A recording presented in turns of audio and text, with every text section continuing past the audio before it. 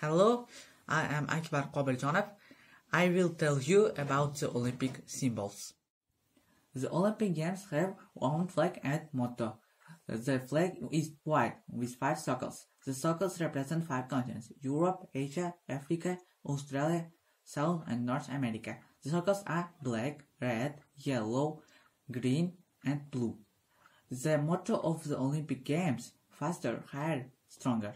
The most of exciting ceremony, opening ceremony, is the Olympic lighting of the Olympic flame, another symbol of the Olympic Games. Runners bring a torch uh, from the Valley of Olympia in Greece. Uh, thousands of runners take part in the journey. Journey starts four weeks before of the opening games. At the opening ceremony, the final runner take uh, carries the torch to uh, lighting Olympic flame. Then there is a very big song, dance, and music show.